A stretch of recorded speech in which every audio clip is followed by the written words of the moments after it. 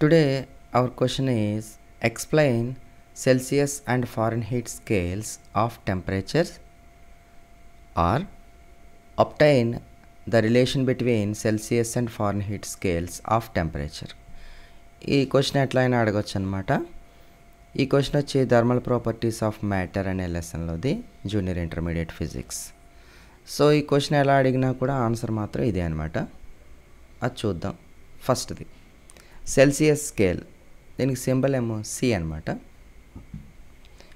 the lower fixed point is zero degree Celsius and upper fixed point is hundred degree Celsius the fundamental interval is hundred the scale is divided into hundred equal parts ఇదొక Celsius thermometer అనమాట ఇది ఈ thermometer red కలర్లో ఉన్నదనమాట so దీనికి lower point ఎంత అంటే zero. అంటే థర్మామీటర్ ఏ సైజ్ అయినా ఉండొచ్చు మైనస్లో కూడా ఉండొచ్చు. Minimum value zero maximum value hundred. So ఈ జీరో నుంచి హండ్రెడ్ వరకు దీన్ని హండ్రెడ్ పార్ట్స్ ఈక్వల్ పార్ట్స్గా డివైడ్ అయి ఉంటుందన్నమాట ఈ thermometer. Next Fahrenheit scale. Fahrenheit scale అయితే దీనికి సింబల్ ఏమో F. The lower fixed point is thirty two degree Fahrenheit and upper fixed point is two hundred and twelve the fundamental Fahrenheit. The fundamental interval is 180.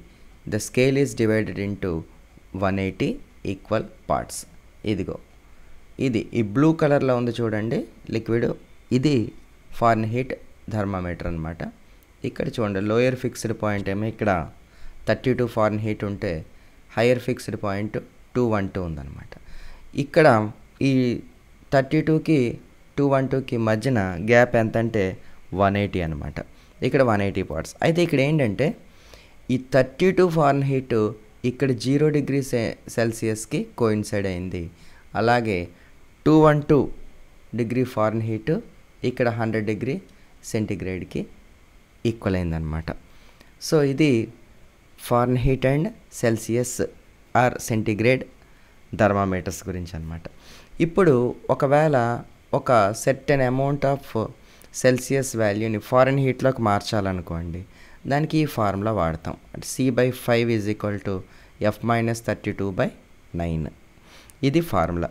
అంటే మనకి గనక Celsius value తెలుసు అనుకోండి దాన్ని ఫారెన్ హీట్లోకి మార్చవచ్చు ఒకవేళ మనకి ఫారెన్ హీట్ వాల్యూ తెలిసి సెల్సియస్లోకి మార్చాలనుకోండి ఈ ఫార్ములా యూస్ చేసి సెల్సియస్ వాల్యూలోంచి ఈ ఫారెన్ హీట్ వాల్యూలోంచి సెల్సియస్లోకి ఈజీగా మనం కన్వర్ట్ చేయొచ్చు అనమాట ఓకే?